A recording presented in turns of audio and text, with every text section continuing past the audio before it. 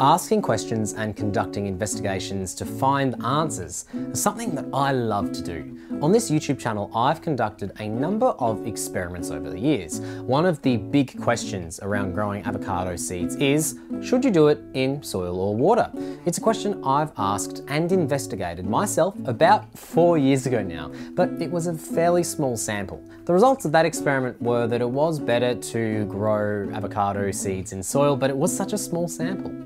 A couple of years ago, I had a different question. I wanted to know if peeling the seed made a difference when germinating and growing them, but I wanted to get a much larger sample size. So I called on my audience of avocado enthusiasts to assist, and thus the first international avocado experiment was run, where we concluded that peeling the seed increased both the speed and likelihood of that seed germinating. Last year, I decided that I wanted to repeat the soil and water experiment to find out if avocado seeds germinated faster in one or the other. So it was time to give it an International Avocado Experiment treatment. So we ran the second International Avocado Experiment. That experiment has been run and the results have been collected. And so today, it gives me great pleasure to draw our experiment to a conclusion and share our findings.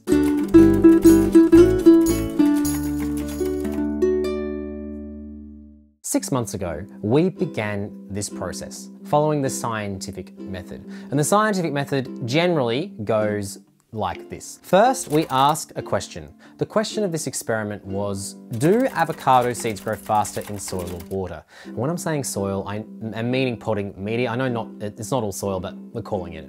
then we need to make a hypothesis, which is a prediction of what we think will happen. It was pointed out to me that maybe I should have kept the hypothesis to myself so as to avoid any potential bias and to have some blind studies. And that's a fair critique. But I did publish the hypothesis, and that was avocado seeds germinated and grown in soil will grow faster than seeds germinated and grown in water. I designed an experiment that would look to find out if the hypothesis was true or false. Each participant would set up two avocado seeds and record the starting date, one in soil and one in water. The soil one being the experiment group and the water being the control group. The soil would need to be watered regularly to keep it moist, and the one in water would need to have its water changed regularly so that it didn't you know, get fungi or other things growing so that it was clean. The date that either plant reached five centimeters would be recorded on a form. Then we ran our trials and participants, the fantastic community of avocado enthusiasts, entered their results on a form on my website for me to then look at and analyze. I've done the analysis, I've calculated the number of days between planting and reaching five centimeters in height, and I am ready to publish our findings. I can't wait any longer. This has been over six months in the making. Let's find out if our experiment showed it was better to grow avocado seeds in water or soil. For this experiment, we had a total of 16 participants. So we had 16 trials, which was a few less than I was hoping for, but it still was certainly more than I could do by myself.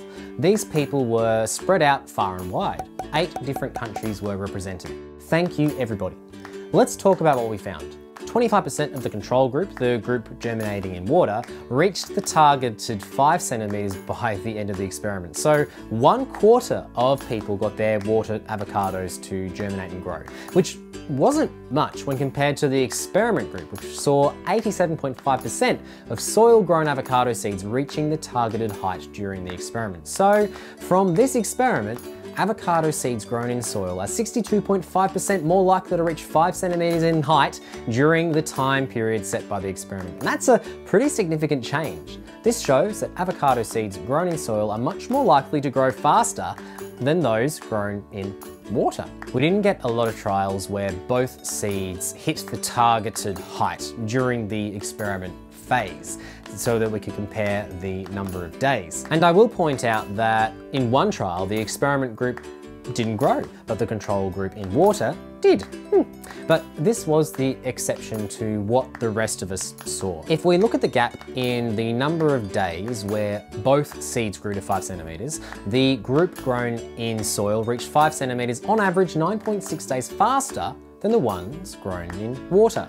The average number of days for the experiment groups to grow, by the way, was 60 days. So after our six month experiment, we found that during the period of time, the seeds grown in soil were 62.5% more likely to reach five centimeters in height than the seeds grown in water.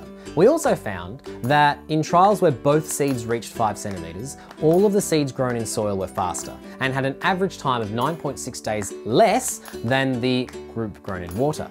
Though there weren't many trials that reached this, so it was difficult to draw a conclusion based on those comparisons.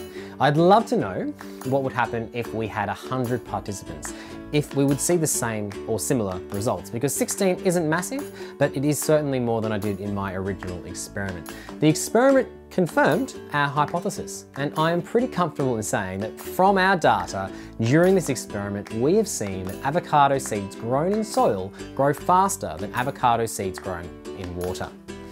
I'm kicking myself a little bit that I didn't ask if the seeds germinated or the date that they did. So if we ever run this experiment again, I'd like to ask that to help us get an idea that if a seed's more likely to die in water because we didn't ask the question, we can't find out. I also asked people to submit what potting media they were using and we had a huge range of them. I'd be interested to see if the particular potting media has anything to do with the rest of it, though our sample was kind of too small to see any trends on this front. Though I was impressed to see that almost all of our choices had our own mixtures of things. A few were straight store-bought potting mix, which is fine, and there were a few people using the same mix that I do, and some who are making up their own, and that's fantastic. And there we have it. Yes, if you're interested in growing an avocado seed faster, you should grow it in soil when compared to growing it in water. Though in water we do get to see all of those lovely roots, which is a benefit. Thank you so much to all the people who participated in this experiment, who took the time to grow their avocado seeds, monitor them and report back to me with their results. Thank you. And thank you to all the people who sent me their images and videos of their experiments too. It was so lovely to be able to see them and to include them in our experiment video. Thank you so much and thank you for watching this video. I hope that you have enjoyed it and I'd love to know what you thought of it in the comments below. If you want to see more videos like this, check out the first International Avocado Experiment video. And I invite you to subscribe to Scott Grows an Avocado Tree. I also invite you to check out That's Pretty Cool, where I delve into topics that inspire in me a sense of curiosity and wonder. From how the moon works to how waterfalls are formed, how plants move, and how they change color. You can find a whole range of topics over there. But avocado enthusiasts, that's where we'll leave it for today. I'm so grateful for you for participating and watching. Thank you again, take care, and I'll see you next time. Scott grows an avocado tree. Scott grows an avocado tree. Scott grows an avocado tree. Scott grows an avocado tree.